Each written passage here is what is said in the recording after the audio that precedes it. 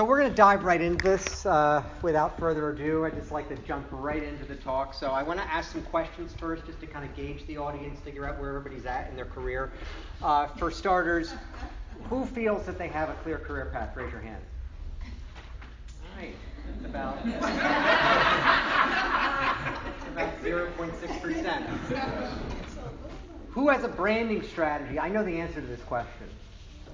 Okay, one or two hands. Okay, normally that number is less than the number of people that raise their hand for the first question because if you don't have a clear career path, it's very difficult to have a branding strategy. Those two things are one and the same, they go together. And finally, and most importantly, this is the mother of all questions, who knows what they want to be when they grow up? all right, good. One hand. Okay, uh, two hands. So uh, the good news is that you're all in good company. Uh, I've done this talk uh, as a keynote at a workshop around the country. I've spoken at this point to hundreds of project management professionals just like yourself. Nobody ever raises their hands for these questions, and it's not because they're shy.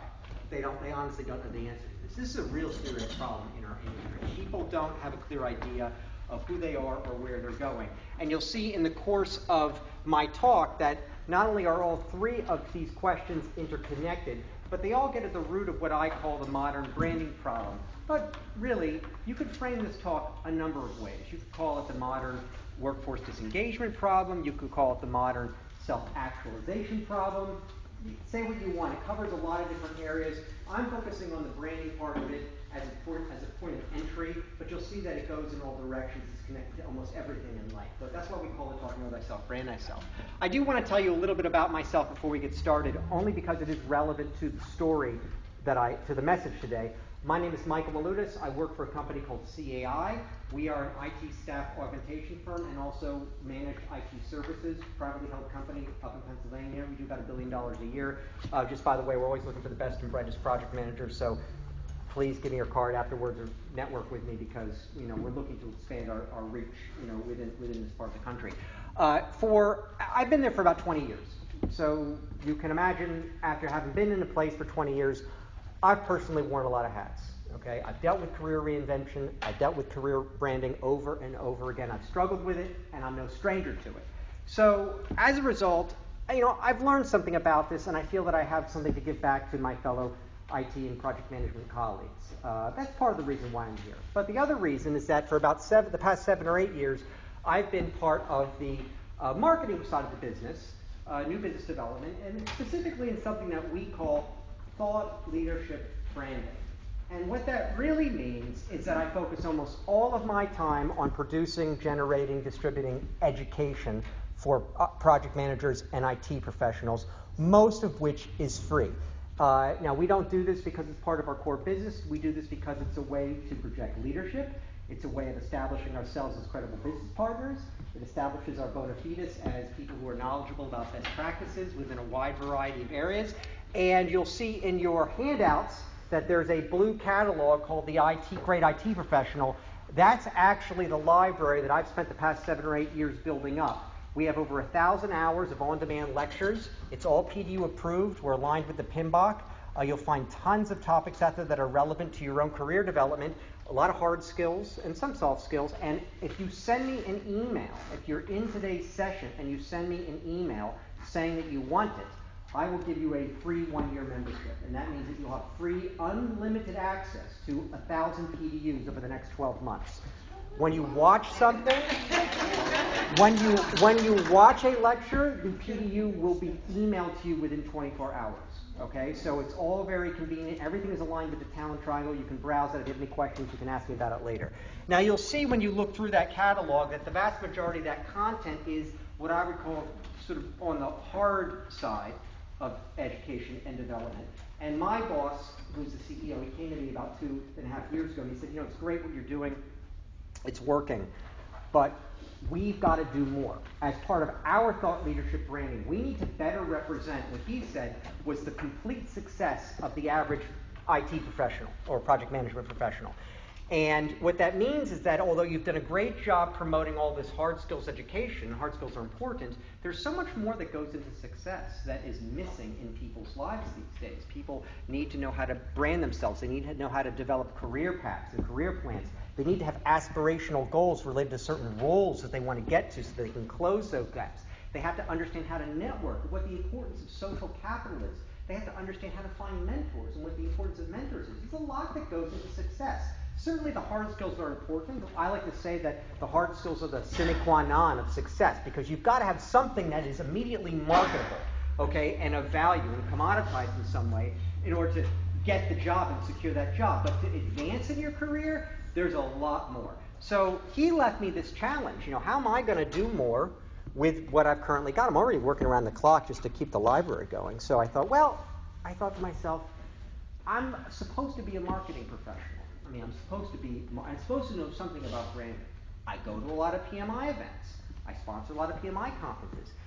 Let me go out there and let me just put it out there when I'm at an event and I'll say, you know what, if anybody needs help with their, their career development and branding challenges, just give me your card, let me know, and I'll follow up with you within a week or two and I'll give you a free half hour consultation, you know, and uh, pro bono, courtesy of Computer-Aid, as part of our, you know, relationships to the community.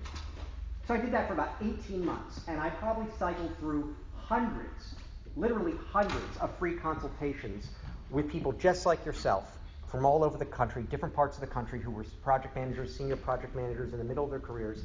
And one of the things that I thought was, oh, this is going to be good for me personally, because as a marketing professional, I'm putting myself in a situation where I am going to cycle through hundreds of different case studies and anecdotes and situations, and I'm going to have all of these different dimensions and perspectives for my future work. Many case studies, anecdotes, stories for my bag, my bag of tricks, so I can draw from when I'm working for companies or businesses in the future.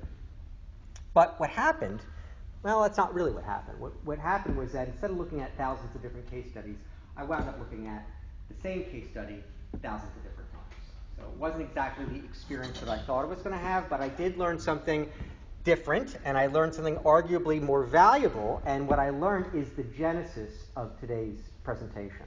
So, uh, what we're going to talk about today, first and foremost, I'm going to share with you what I learned uh, are the most common problems with branding. Remember, that's our point of entry into this rather deep problem that we're going to discuss. Well, I'm going to I'm to share with you uh, what are the most common problems of branding among people just like yourself in the industry. But then we're going to spend the bulk of our time talking about what is the issue, what is the surprising thing that I learned, which is that what's holding people back is not technical, it's not tactical. Many of you think, oh, maybe you're going to learn today about Facebook or LinkedIn or how to use Twitter. No, that's the easy stuff. That we can do that in five minutes. That's not what's holding people back. What's holding people back is primarily psychological. Okay, we're going to talk about what that means. So I call that the inner journey, the know thyself. That's why this talk is called Know Thyself brand thyself. We're going to talk a little bit about tactics at the end, but we're going to spend the bulk of our time talking about the inner aspect of success, which is a critical success factor. And then, if we do have time, um, if I don't ramble on too much, we'll bring it back to reality and I can share with you some tactics and actual techniques that are more related to things that you can implement immediately. So, uh, my goal, first and foremost, is to inspire you I want to, uh, you know, get you really motivated to walk out of here and be invigorated with new life for your career. I also want to give you a, a, framework within which you can look at your career over the next, have a framework and a path forward for the next two to three years. Uh, I know that how important that is, especially in light of the fact that nobody raised their hands for that for that first question. And then, of course, no presentation would be complete without leaving you with immediate takeaways that you can implement today or tomorrow, right away, uh, to improve your lives and, and in your career. So that's the plan. We're going to stick to it. I have about 50 minutes. All right, so let's go. So, for starters, the problems. So, one of the most common problems that sort of mystified me was I was amazed at how many people that I talked to have such a negative connotation about the subject of branding or personal marketing or personal promotion or self promotion. Don't quite know where this comes from.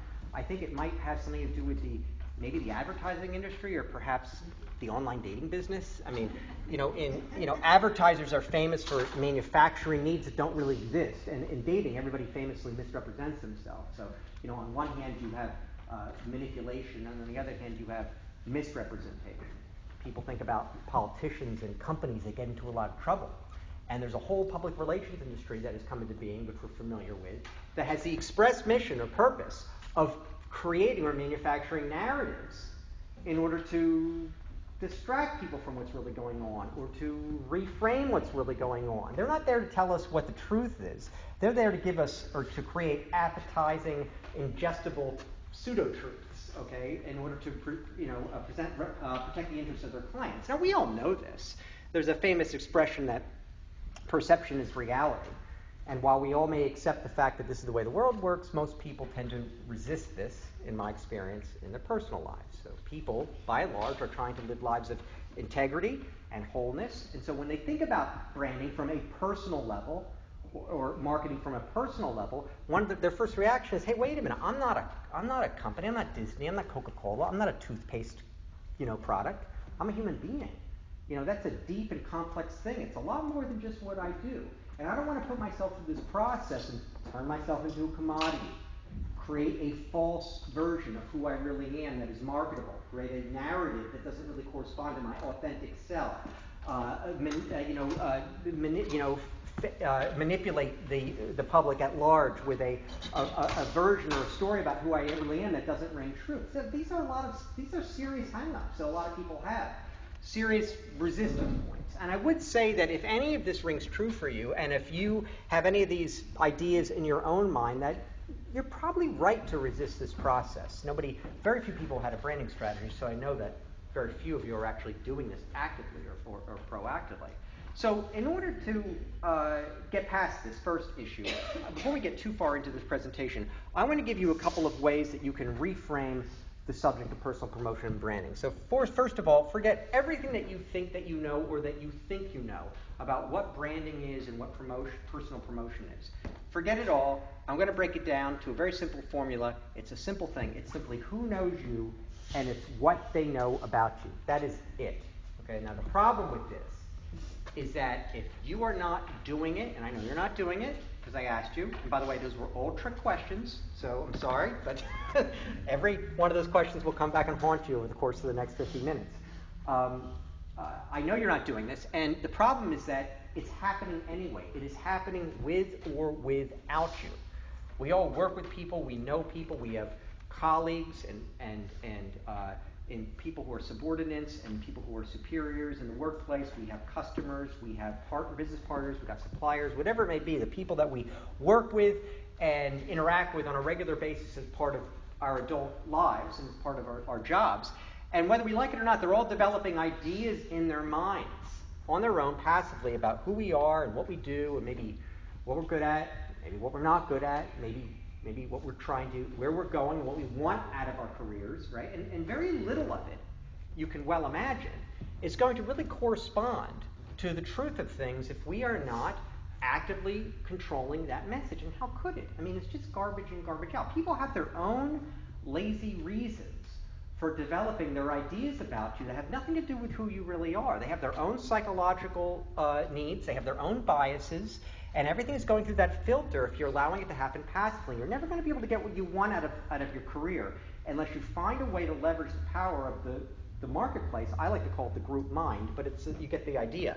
Now, that might sound a little bit mystical. I'm not going to talk about things like the laws of attraction or whatnot. I'm a big believer in that. There's a lot of books that have been written about it. Most people are familiar with the concept. But another way that you can reframe this that gets at the root of, of these laws of attraction is to think about branding as a combination of intentions plus goal setting plus a clear communication strategy. So, for starters, the very first thing that you have to wipe the slate clean and start with is you must have very, very clear intentions about what it is that you want out of your career, what you're trying to achieve, and who you're trying to become. Okay, because life and work and branding is a journey of becoming. Okay, this is about what we're transforming ourselves into. It's part of the reason why I had the butterfly image on the, on the opening slide. You have to have very clear intentions. Most people do not have a clue about what they want in their lives or in their careers, and that's the biggest obstacle. You can't develop a career plan, you can't develop a branding strategy if you don't know what you want and what you want to achieve. So you must get clear on those intentions. And I'm going to talk a little bit in the course of the presentation about how you can do that. Okay, I'm not going to leave you hanging. Uh, when you make some progress with that, you want to try to find a way to translate these intentions into into goals that are realistic and actionable and that are achievable within, say, a two to three year time frame. Okay, that's another rather challenging process. And if you can get that done, then you want to find uh, clever and strategic ways to communicate that to what I call the group mind, but what is in common parlance known as the marketplace. So that you can get all these people aligned with you, so that instead of them developing their own ideas, whether it's in your immediate sphere of influence or whether it's on the mass market in terms of the audience that we can have in social media these days, you want them to have a very clear idea about who you are and why you're valuable to them. And you want all that to be aligned with where you, what you're trying to become and achieve and, and where you want to go. Basically, branding is the clear communication strategy, and it rides on top of intentions plus goal setting. Intentions is kind of the know thyself, clear communication strategy is the brand thyself two parts of the same puzzle. And a lot of, most of the time when people talk about branding, they unfortunately exclude the psychological component to it. I think that they're doing people a big disservice because you cannot be successful unless you address the inner side of this as well. Uh, but above all, the biggest uh, reframing and the final reframing is I want to give you an entire paradigm shift so that instead, if you have any of you have any hang-ups about promoting yourself, you know, and other, by the way, there's a lot of stuff that we get culturally from our own families. You know, I mean, I know, you know, growing up in, in, in my house, you know, you're not supposed to do that. You're not supposed to toot your own horn. You're not supposed to talk about yourself. You're supposed to sort of talk about we and us and the team. And by the way, that's also something that happens in the workplace. You learn very early on that if you want to be successful, you've got to think about the team and about the group, and you've got to use terms like we, okay?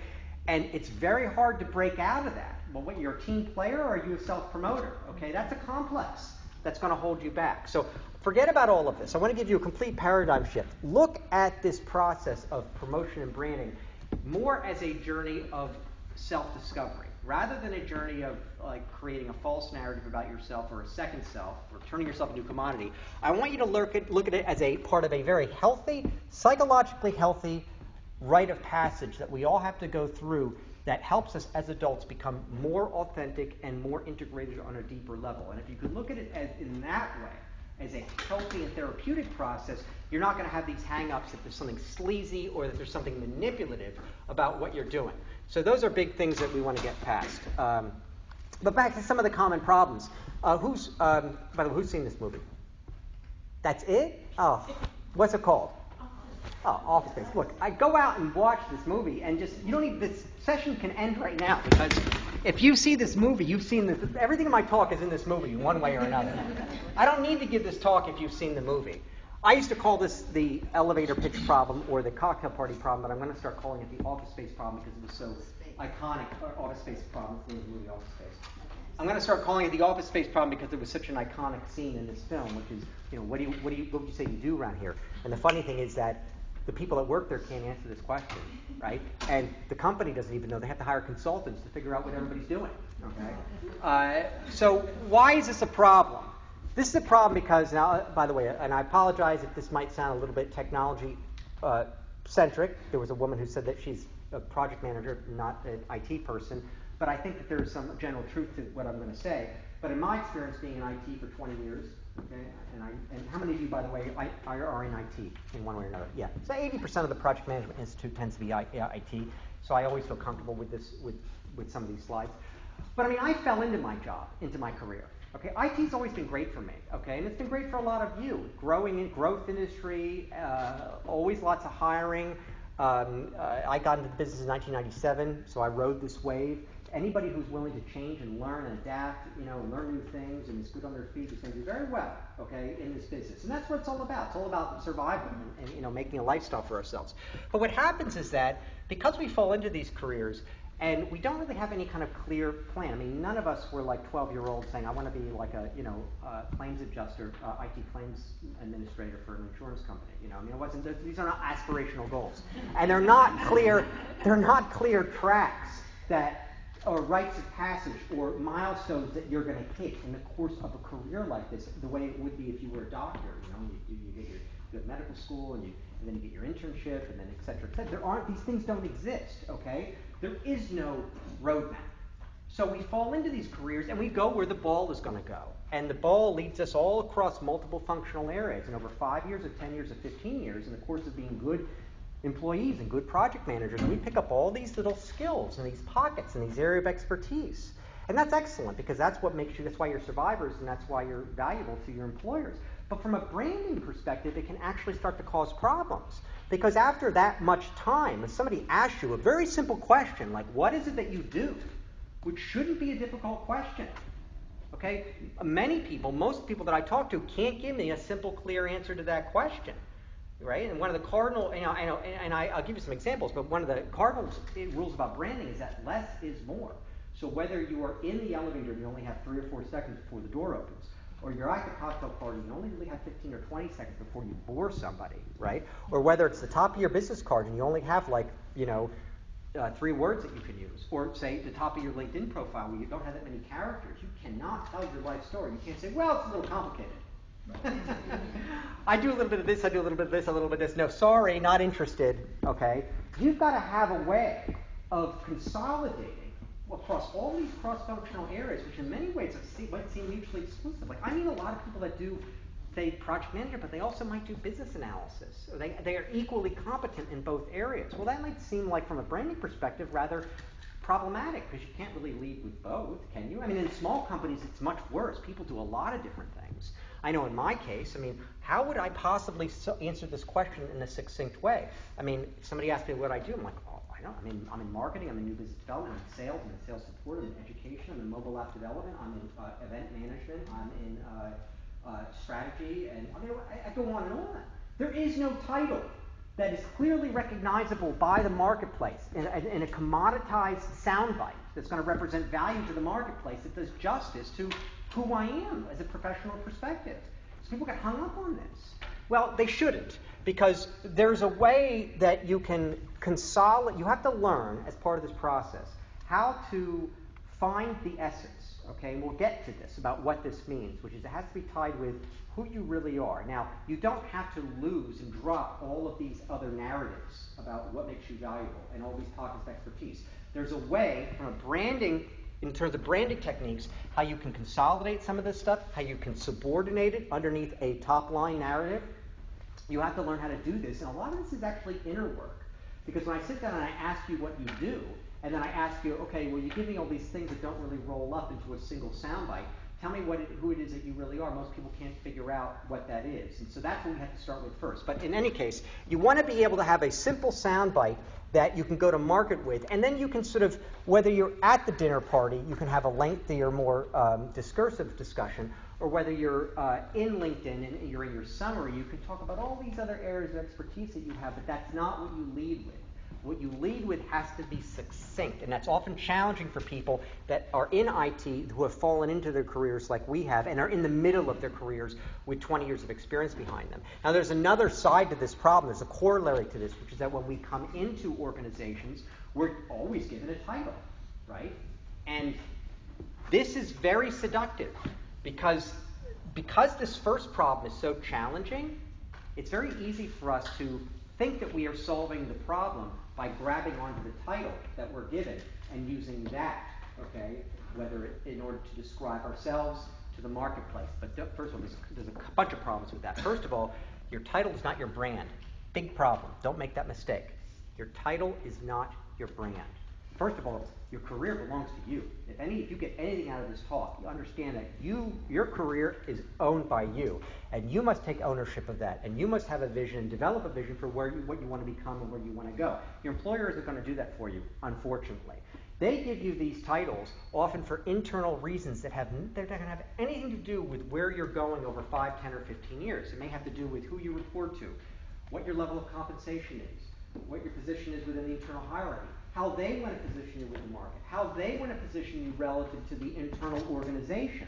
Okay? And that's all well and good. You've got to abide by that, but that's not your brand. Your brand is something different that has to do with where you want to be in five or ten years.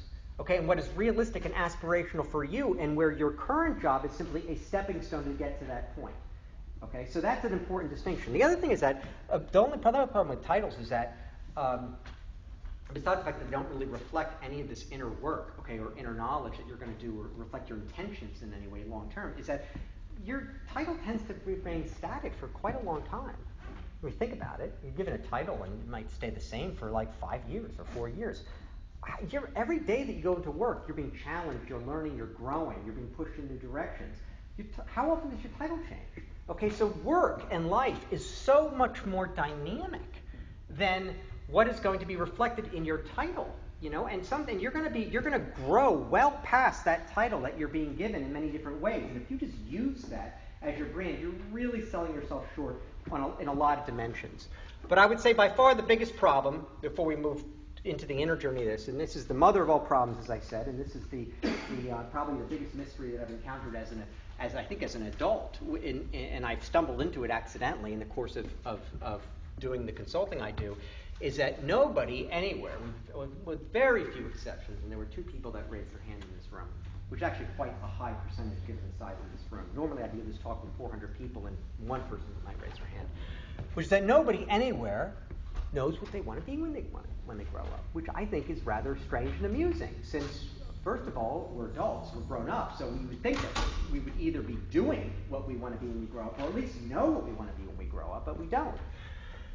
So uh, this is, I want to tell you why I include the slide for, it's a little bit of a tangent, but um, this is a school in Allentown. Okay, so the company I work for, we're a privately held company. We have a lot of leeway with what we can do philanthropically, and we're big believers in, in education, not just within the IT community, which is a big part of our strategy to give away free education within IT. Um, but we also look at this holistically and in terms of the entire ecosystem. So we're worried about what, you know, what are you, how are colleges preparing our, our future workforce?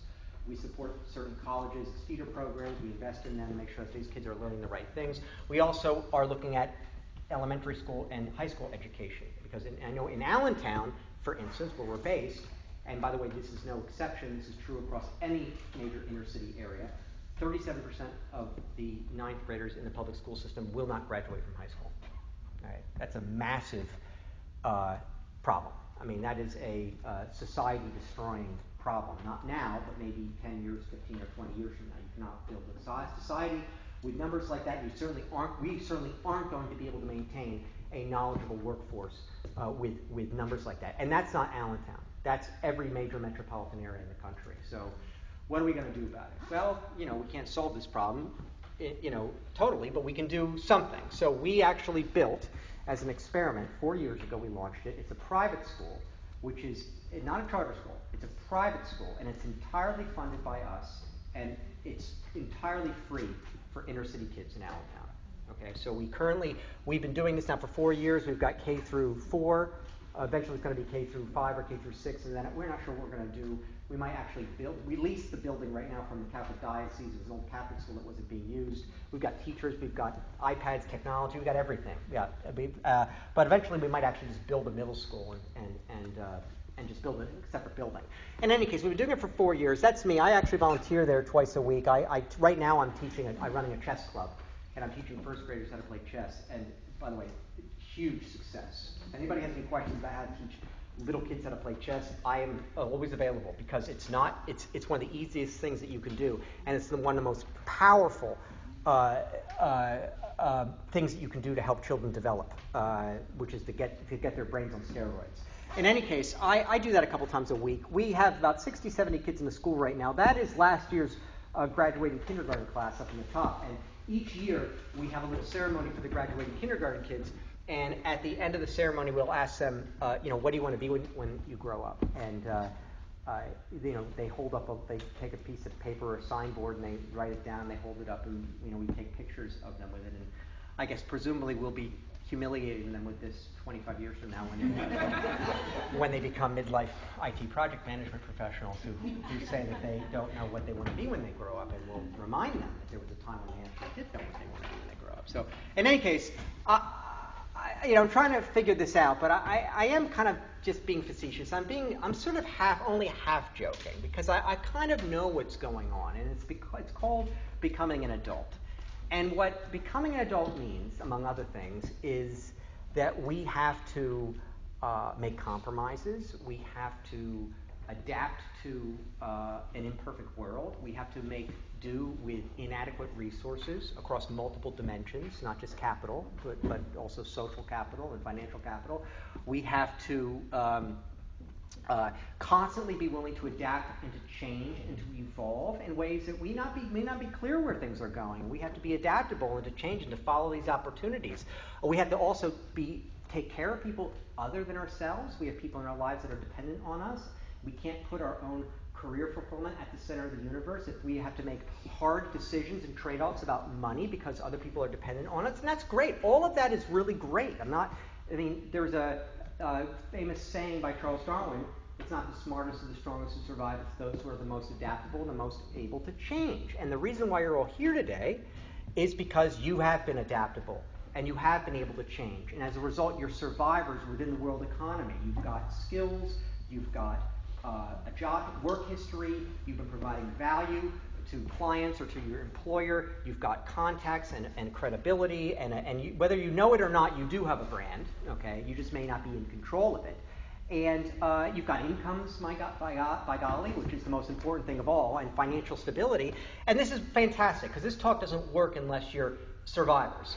But what happens is, at least what I've discovered is a problem in the course of the work I've done, is that a gap starts to open up between who people really are in the course of becoming an adult, which is, of course is a healthy process. This is all very necessary to becoming a mature human being.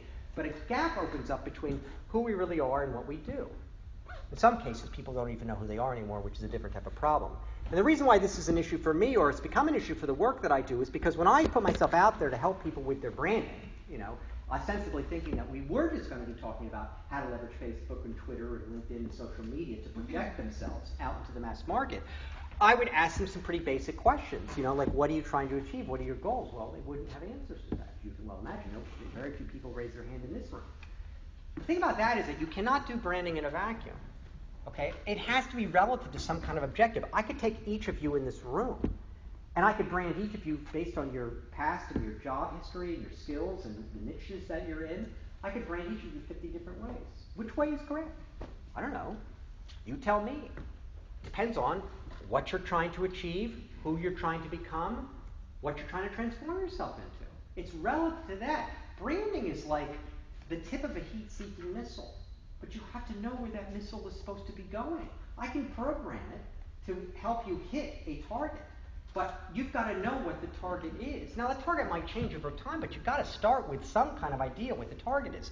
So, as you can imagine, most people don't really know what they want. They don't know what they're trying to achieve. They don't know what the, even the possibilities are for what they can transform themselves into from a career perspective. So I go a little bit deeper. Well, tell me a little bit about what you do and why you do it. Well, they don't have an answer to that. Why?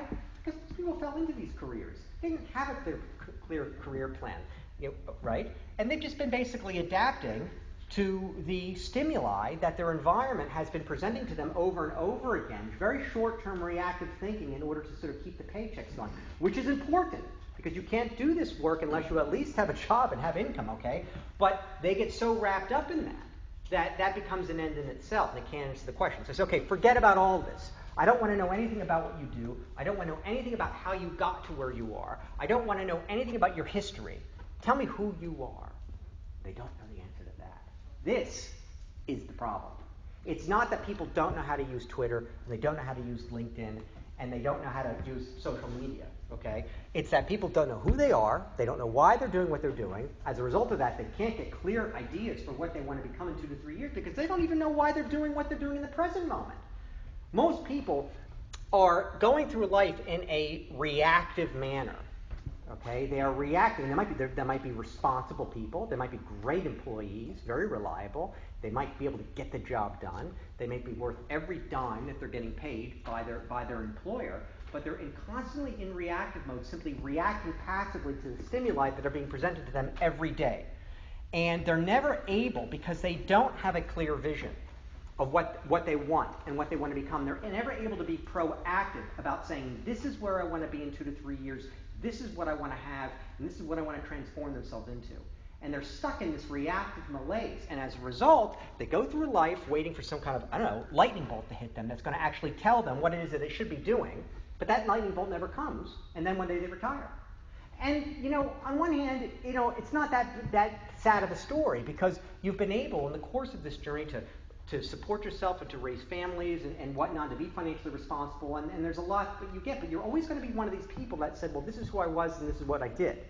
And we want to avoid that problem. We want to avoid the nine to five problem. Part of the, process, the, the success criteria for this is to become more integrated, more self-actualized, more individuated, and we'll talk about that in, in, the, in the, next few slides. Uh, so this is the challenge, which is helping people do, I like to say that branding is a holistic process, okay, and it involves the entire human being encouraging people to sort of accept this challenge, as it were, but I don't want to leave you hanging because I know that this can seem pretty daunting. So I want to give you a few tricks that you can use to, uh, to address the challenge.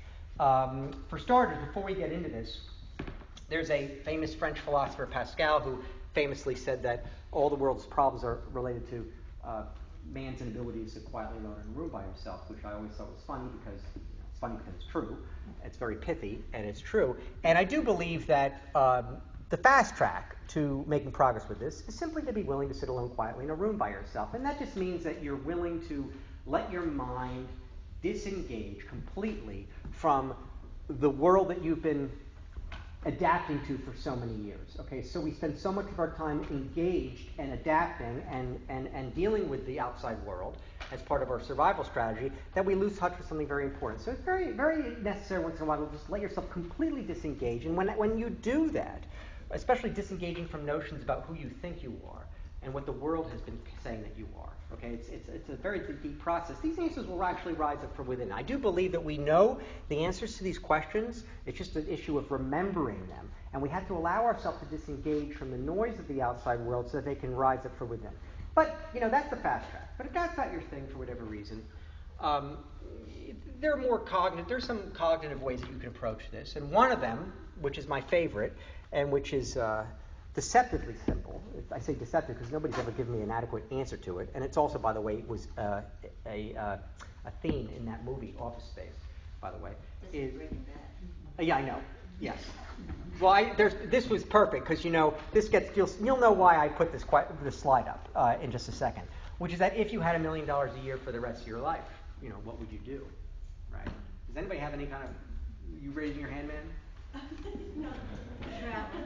What do you think you do? Travel. Yeah. Okay. So, all right, you get the prize. So everywhere I go, uh, there's a there's always the same thing. There's an awkward pause, and then someone will raise their hand and I'll say, "I quit my job and I travel," and then everybody goes, "Yes."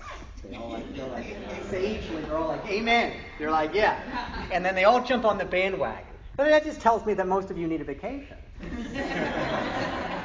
because that's not an answer to this question at all at all. And I'm pretty sure that after three weeks or three months or six months or nine months or however long it takes to get that out of your system, you're going to be right back where you started.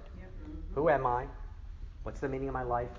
What is the work that I'm going to do in this world that's going to give me purpose? What's my relationship to the world at large? What's my relationship to the community, to the cosmos? What is my life going to be about? You know? And it's going to be that much harder for you because you can't hide behind money anymore. Now, don't get me wrong. Money's really, yes, sir you also have you also not behind time? Like once you retire and you have all the time in the world, you have the money. At what point are you get tired of? Well, we, we'll get to that in a second because that I'm going to get to that at the end of this talk because in a, in a self in a perfectly self-actualized state, you're in a kind of a uh, you're, you're, you're in a timeless, effortless space where the work that you're doing is an end in itself and you can just do it forever. And it has nothing to do with how much time you have or how much time you don't have. Okay, that's the goal. We don't want to bifurcate reality in terms of work and non-work. Okay, work is everything to me. Okay, in one way or another. Okay, so you have to sort of find a way to sort of become so integrated that the work you're doing is actually part of your spiritual process in this world of becoming and blossoming and and and and becoming who you're meant to be. That's not, those people don't need retirement. Okay? And those people don't work against the clock. And those people don't work for a paycheck. They may get they may make a lot of money, but the money is a is a is a servant, it's not a master. Okay, so we'll get we'll get to that in, in, in just a second. But I I'm, what I meant about hiding behind money is that because so because we are adults and because we have to be financially responsible, which is important. Like I look at 90% of my decisions through the lens of financial stability. I'm, you know, but because we have to do that all the time, uh, it, it makes it very easy for us to kind of put aside all these deeper questions because we're chasing this, this ball around and we're not really looking. We say, well, I don't. I have to worry about the mortgage. I don't have the time to do this sort of inner work. And we, and you know, you're making hard money decisions all the time. So it's Uh, it's actually very hard if you imagine yourself to have this infinite abundance. It actually really forces this, you to face these questions right away. We don't want to have to deal with this when we retire. We don't want to have to retire. You understand that? We don't have to wait 20 years to sort of figure this out and then not have an answer. And, and that's, a, that's a very bad problem to have. We want to do this process slowly and gradually as we are in the workforce. So uh, I like to tell people, you know, as a thought experiment, and by the way, this is not meant by any means to be a philosophy for a living because you will get hit by a bus, you know. Uh, I, this is meant to be a thought experiment, okay? So you do this alone at home at night, okay, when nobody's, when nobody's around, which is actually convince yourself that you had – a million dollars a year or $10 million a year or whatever it takes to just kind of break through. And I want you to almost hypnotize yourself into believing this. And when you get into that state, I mean, really of believing it, of, of that there is that infinite abundance in that state of trust and security in the universe or in, in, in the world, right? Look, then, then look at your career and look at where you are in your life and look at the work that you're doing day to day and honestly ask yourself, would I still be doing this? Or what would I be doing differently? Now, the people that are living more mindful, I would say, are living more mindful lives or have made a little bit more progress on this, they will they won't say they'll quit their jobs, and they don't say that they'll travel. They say, well, I would, I no, no, they say I wouldn't do that, but I would do a little more of this and a little more of this, and I would tell my boss I don't ever want to do this again because I was never really good at it. You know, my boss does it to me all the time. He's always giving me graphic graphic design challenges. I'm like, what are you thinking? That is not at all, I don't have those skills. like, you're just torturing me. Like, you have a graphic design team. Like, it's not going to get done. It's, like, it's almost like a conspiracy to prevent the project from getting done if you give it to me. You know, if that's really what's going on here. And I would say, no, don't give me this anymore because I don't need this job. I don't need it. I'm, I'm infinitely abundant. So I'm, I'm going to work in this and this and this, and I'm going to grow the business in these ways. And people start in their mind, they start mapping Okay, doing this type of mapping, that tells me a lot about somebody. Because if people, even in this thought experiment, get into the state where they're willing to do work in the absence of financial remuneration, because that's what's going on in this thought experiment, that tells me a lot that it's tied to who they really are. Now remember, that's the bottom of the pyramid. Now, who they really are, we don't mean anything super mystical, okay? I mean something very practical. I mean, what I mean to say is that we all have these archetypes. Okay, we're all born with a kind of a, in, in, in, certain models. Okay, there are things that we, we all have certain gifts, things, activities that when we do them, we do them effortlessly, we do them better than other people, we get great joy and satisfaction out of them. We do, because of all of this, we do that we are highly productive, and we get so much pleasure out of it that the act of doing it is, and this is important, is almost an end in itself okay, to such an extent that if you had a million dollars a year, you might actually pay somebody for the privilege of just doing this work because it was the work that you're meant to do that you get the most gratification from. Okay, so that's a really powerful place to start in this process because you want to start to sort of. I'm not telling, by the way, don't get, don't, please don't misinterpret me. I'm not telling you to quit your jobs and divorce your spouses and, you know, go to India and find yourself. Not at all. Okay, there are other people out there with that message, and I'm not one of them. Okay, I'm, I'm the other guy. All right, I'm telling you, I want you to ask yourself these questions or spend a little time alone with yourself and disengage. Get some indicators and clues, and then look at what you currently have and where you are. Life has gotten you to this point, okay? I don't want to. We don't, we don't want a radical disruption. I'm a very conservative person. I want you to then look out with new eyes, and you'll see that your environment is going to look differently when you have this inner knowledge, and you're going to have, you start to see that there are all these opportunities that are meaningful for you within your current environment to, to develop yourself that you might not have seen before because you didn't have the eyes to see them. Okay, so that's why this is called know thyself, brand thyself. That's why I talk about this as an inner journey. I made, I'm going to tell a quick anecdote. I think I do have the time, but I, it's a very important message that I, I, want to get across. I don't want anybody to make this mistake. But uh, the, the, assistant, the uh, VP of HR, where I work, uh, she'd been with us for 18 years, and she said that, oh, I heard you've been doing this talk, and it's been pretty popular. I'd like you to come in and do it for, for my staff. I said, sure, no problem. So I came in to do the talk, and this is before I had fine-tuned the message, and I, had, was, I was just being very cavalier and saying whatever popped in my head, you know. And uh, things haven't changed that much, actually, but uh, it was much worse back then. And I made a very careless and cavalier remark about uh, following your bliss and quitting your job and, and starting a bakery or something like that. Uh, and two weeks later, she quit her job and she started the bakery. and, uh, she had been with us for 18 years. Now, I'm sure that there were other reasons why that happened. I'm sure I was simply in the wrong place at the wrong time.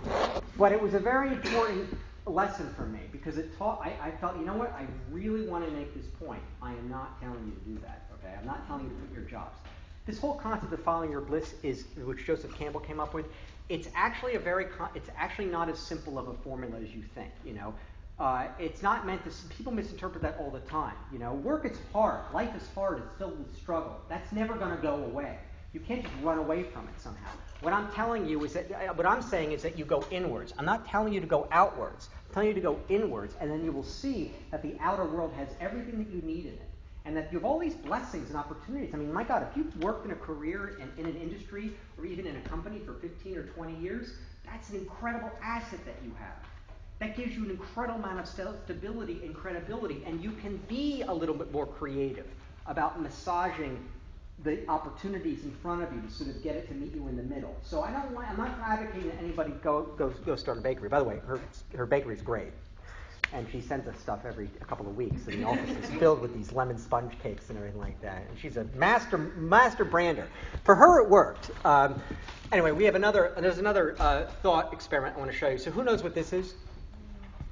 Right. Okay. I'm actually surprised. Most people know what this is. This has been fairly institutionalized in corporate America. This is the Myers Briggs. It's one of these strength finder or personality tests. So uh, they usually give this to you when you enter the workforce, the corporate workforce, and it's meant to determine what your archetype is. Remember, I said that I, my my experience or my belief is that we all have these archetypes that are, you know, if we can sort of map, if we can get ourselves into the right uh, sort of work, that the archetypes become activated, as it were, and work is effortless for us. Okay, because we're born to do that sort of those sorts of activities. This is meant to kind of help you determine that or figure that out before you enter the workforce so that you don't have a problem 20 years later of saying, I need to quit my job, divorce my spouse, sell my house, and go to India, right? We don't want that to happen because that's a very expensive problem, not just for the individual, but also for society and, and for the employer. We want people to try to do this work as they enter the workforce in the beginning so that they can sort of continually fine tune themselves. Now, I,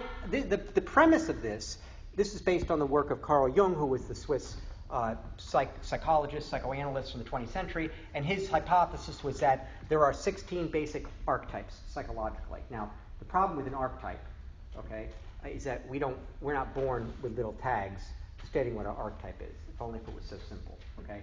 Unfortunately, it's unknown to us. It's dark. It's part of the unconscious. So we have to kind of learn this by making mistakes, by bouncing around and bumbling around in the world, by doing work that we hate, as it were. Everything is a learning experience when it comes to knowing yourself. Now, I uh, one of the the power of this nowadays is that you can take one of these archetypes and you can plug it into a search engine, and it'll actually tell you like here are all the career paths or jobs or tasks, activities that are aligned with your archetype, and here are all the ones that are not. And just like the million dollar question, if you do this, you can start mapping this against where you currently are. And I think you'll be I think you'll notice, you know, most people now nobody's going to have a problem of complete non-alignment. Most people would be like 50-50. You'll say like, "Oh, it says that I would be good at this, this, this, this, and I do all of that in my job in some way or another." And those are the things that I like and I've always been really good at. And then it'll say, "Here are all the things that you're not good." And you're like, "Oh, that doesn't surprise me either." So again, it gives you a way to to start mapping. Now, I'll, how this worked for me and why this changed my life, I mean, I took this test in college. It meant nothing to me. It gave me the same answer four years ago, and it changed my life. Same answer, by the way. So I mean, if you did take this test before, I would take it again because the context will be different now that you've been in the workforce for 20 years. So I took this test, and it told me that I was an INFP. Now, an INFP is about 2% of the population, and it says that the, the perfect career path for me would be like teacher, guidance counselor, coach, uh, psychotherapist, counselor, uh, pastor, rabbi, witch doctor, shaman. uh, you get the idea, right? You start to see where that's going, right? So first of all, it's dealing with people. Got it. It's dealing with people. And secondly, it's helping them overcome whatever it is that they need to overcome, in whatever context they're struggling with, to become the best that they can be. And it's also dealing a lot with their inner life and also with the outer world as well. So it sort of bridges the shamanic aspect, which is that you're dealing with trying to get people's inner world aligned with, with the outer world. So when you think about that, you think, well, you know, so what am I doing in technology and marketing, right? And isn't that a problem? Because I'm trying to, well, you're very wise people. You must know where I'm going. Because I'm, I'm thinking to myself when I'm trying to, I'm having a lot of challenges branding myself. And part of the reason is, it seems like a false narrative. It doesn't seem authentic. When I'm looking at my brand and I'm trying to brand myself in terms of technology and marketing, something doesn't ring true. And there's a little pithy axiom that, I, that I've come up with uh, in the course of my work, which is this. Nobody wants a world-class branding strategy to keep doing the wrong thing with their life. That's what it is, because I'm doing this stuff for free and I can't make progress with people. I can say, I'll do this, I'll do this, I'll do this for you. I don't really want it. The reason why they don't want it is because they're not really sure. They're, they're, they know they'll get it. You know, if you, if you ask for it, you'll get it, and they, they know that. They just don't think it's the right thing. So if somebody came to me and says, I'm going to give you a world-class branding uh, uh, uh, brand to become a world-class technology marketing executive, I would have said no, even though that was what my career path was. Mm-hmm. I would say I would have the same problem because it doesn't seem authentic, because it's not who I really am. But that's only a surface problem. Because if you do some of this inner work and you go a little bit deeper, okay, if you t- and I would encourage you to take this test, you start to say, well, wait a minute. I start I started to ask myself questions. So wait a minute. Well, why have I not gone completely stir crazy for 20 years? And I've been good and successful at my job, and it's not an accident. Okay, you can't be enthusiastic. You can't be successful unless you're enthusiastic, and you can't be enthusiastic unless there's something going on there. And the more I thought about it, I thought, you know what? 80% of what I do from a technology marketing perspective is oriented around education. That was the strategy that we had. And th- that was why I was passionate about what I did. It wasn't so much that it was technology, or even marketing for that matter. That was just uh, incidental, ancillary. What it was is that I was helping to develop people. I was helping people who had jobs keep their jobs by maintaining their skills. I was helping people who were competing against international competition because we were giving them all this tech education to keep them up to date with where the industry was going. It was helping people who didn't have the luxury of being able to afford college education to get into the workforce easily and quickly and at no cost because they could pick up skills and make themselves marketable. It was addressing a lot of things that I really cared about in terms of people and developing people. Do I care about technology? Honestly, no. I couldn't care less about technology.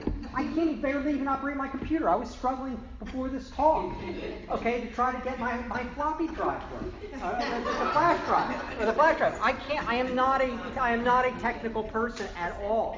Okay, I live at home. I can't. I don't even have a TV or DVD player. I wouldn't even know how to use a DVD player if I had it or set it up. So you know, but that's not why I've been successful and why I've cared about my job. It's because it was a it was a vehicle for me to help other people. Now, when I brand myself and I tell my story, I can take all those things, but I can I have to know what to subordinate.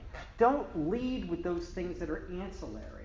You want to lead with those things that are tied to who you really are. So when I look at that pyramid again, I say this is the problem. Who am I really? I'm somebody who is like I'm the shaman, okay? That's what I am, okay? Uh, that's my archetype. Why do I do what I do? It's an opportunity to develop other people and help other people to become the best that they can be. What are my goals and objectives? I want to keep doing that two to three years out. I want to have as many opportunities as possible to be successful and to earn income while developing other people.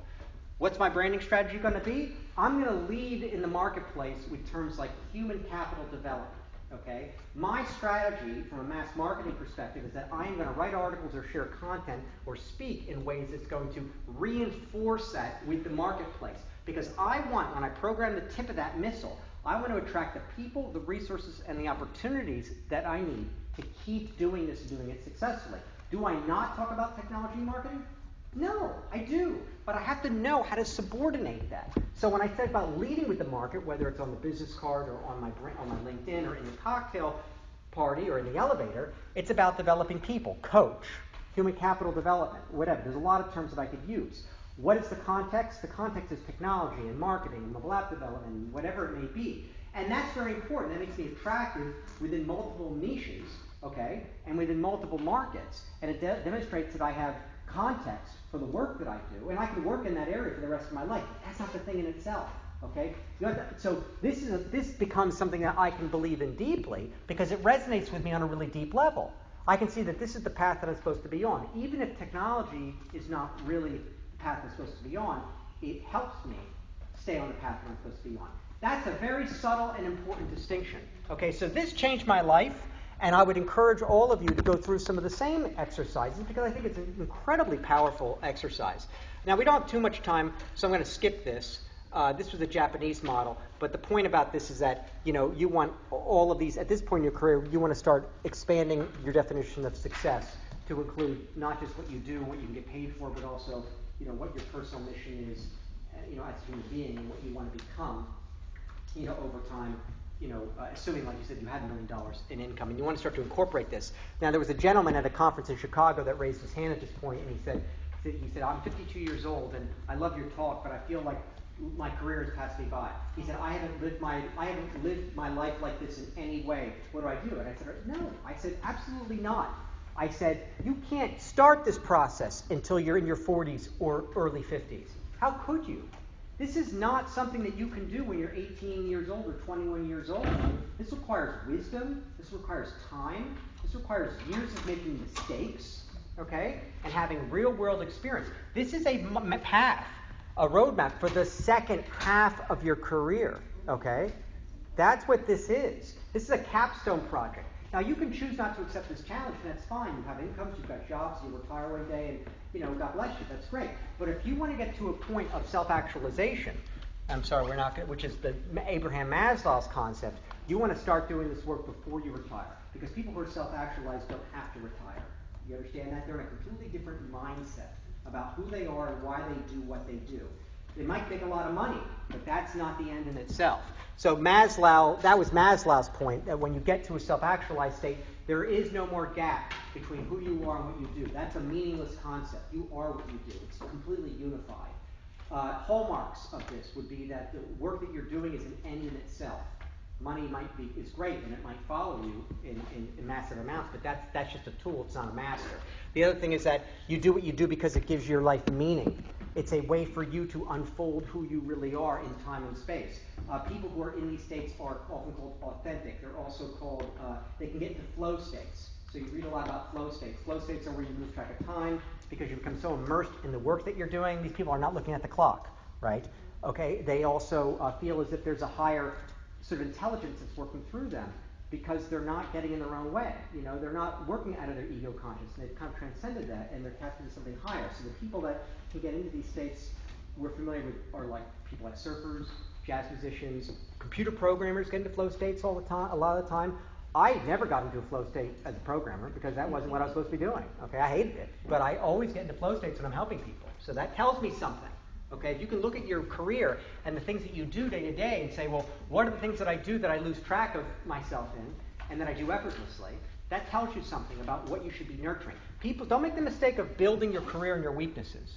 It's important that we work on our weaknesses, but don't build your career on your weaknesses. You have to figure out what your archetypes are, is and your strengths are and build your two to three year future goal on those strengths.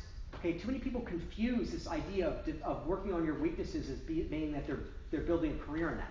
Don't make the mistake. You want to build on your strengths and constantly be searching for opportunities to find out what they are. And that might mean that you put yourself or you seek out unique projects and unique opportunities in your environment so you can test yourself.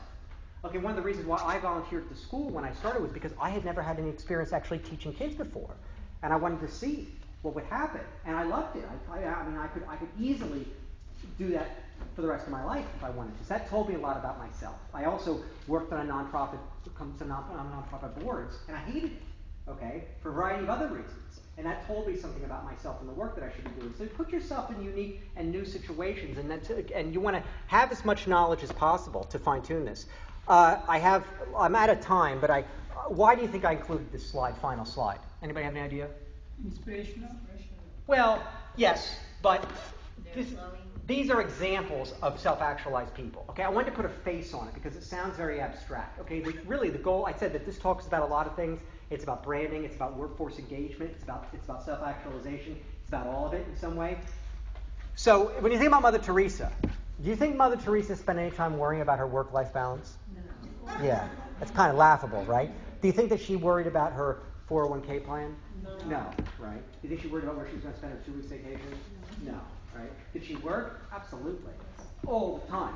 Was she naive about money? Absolutely not. And I'm sure, every, and everything she got her hands on, she plowed right back into the work she was doing. Why? Because money, for a self-actualized person, is a great servant and a terrible master.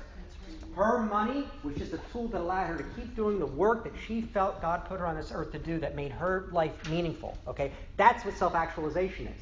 Now, somebody who self actualized doesn't have a problem with branding. I guarantee you, uh, if I gave her an opportunity to, to market and brand her, she'd have no problem. She'd want somebody like that wants to stand up on the mountaintop and tell their story because they actually believe that the work they're doing is what they're supposed to be doing and they want to do more of it. Now, you don't have to be a saint to be self actualized. I know a little bit about Steve Jobs. I don't think he was the nicest person, but I don't think anybody would doubt that he was a self actualized man. Okay, this was somebody who was motivated by something much more than money. Okay, and he was he was trying to build something and a vision that that he devoted his whole life to, and he changed the world in the process. Some hallmarks about self-actualized people: they tend to be heroic figures historically. They stand out from the mass of humanity. They tend to achieve great things because you can't be enthusiastic achieve anything without enthusiasm. You can't be enthusiastic unless you are self-actualized. And they tend to not be concerned about money. Elon Musk, these guys, Musk, Jobs, they could have gone bankrupt over and over again. They just would have found another way to keep doing what they're doing because it was an end in itself. Martin Luther King, I don't think anybody would doubt that what he was trying to achieve was deeply tied to who he was and what he felt his personal mission was in time and space in this life, and nothing was going to stop him. Okay, these are, and they, they, they're famous for a reason. Now, I meet people all the time who are self actualized. I, bus drive, you can meet them driving the bus. I mean, they don't have to be famous famous people. But these are our these you, these are our role models. Now the problem is that you're not going to find a lot of self-actualized role models with IT. I hate to have to say that, but you know, it's not exactly filled with them. So be you got to be willing to grab you to look for these role models in other areas, whether it's spirituality or engineering or politics.